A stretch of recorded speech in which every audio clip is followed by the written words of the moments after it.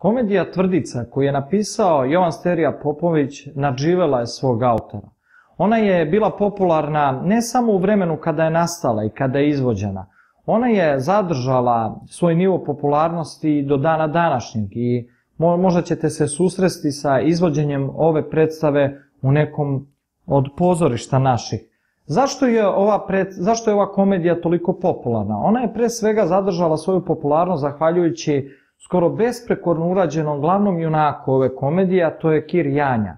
On je sa svojim individualnim osobinama, da tako kažemo, a, sa svojom autenti, autentičnošću nadživeo i svog autora i da tako kažemo ostao popularan i do danas. Zbog toga ćete često na koricama knjige u knjižari kada budete e, gledali sterijina dela, e, često vidjeti da je naslov Kir Janja umesto tvrdica.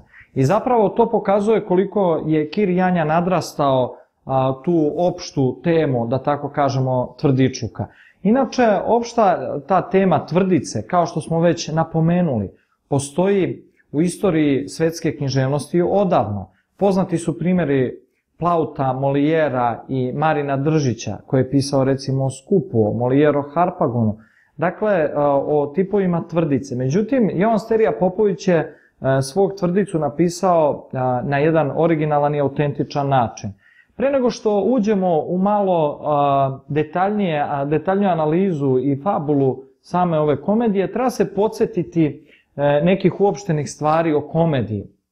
Komedija pripada književnom rodu koji se zove drama.